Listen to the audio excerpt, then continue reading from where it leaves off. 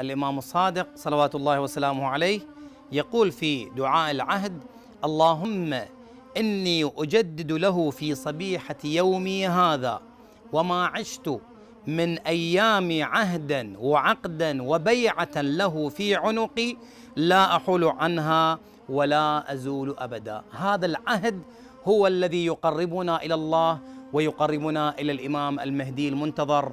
عجل الله تعالى فرجه الشريف.